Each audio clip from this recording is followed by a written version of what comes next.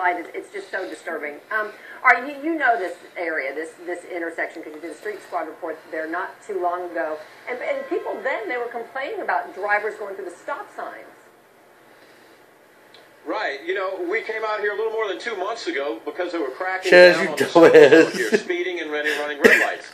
So the guy you just see in that video there, we were hoping to shoot some video. This guy blew right through the red light. And keep in mind, I went back and counted. The red light was red for 17 seconds. And then he blew through it and honked the horn. And he made the mistake of pulling into the Valero where I tried to have a little chat with him about that. But uh, clearly, you know, there's so much traffic out here. People are just not paying attention.